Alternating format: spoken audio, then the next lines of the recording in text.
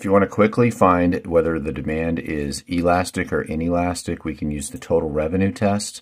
So total revenue is price times quantity.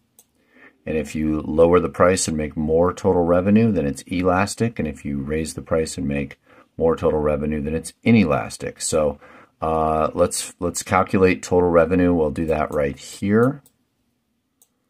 Okay, and so 50 times 11 is 550. This is 900. Uh, this is 1400. This is 1500.